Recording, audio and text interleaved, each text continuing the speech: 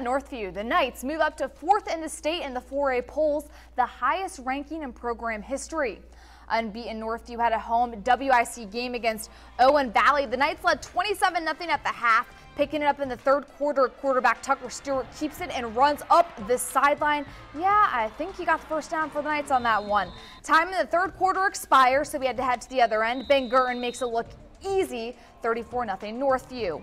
Owen Valley struggled to get their offense going here. Dylan Townsend picks up a first down for the Patriots, but like I said, it was the Northview show. Mason Moon gets the sack, and the Knights improve to 5 0 for the first time since 2006, shutting out Owen Valley 34 0. Quarterback Tucker Stewart threw for 172 yards. Hard to get that out there, sorry. Two touchdowns and ran for 102 yards. Ben Gurton rushed for 103 yards and three touchdowns.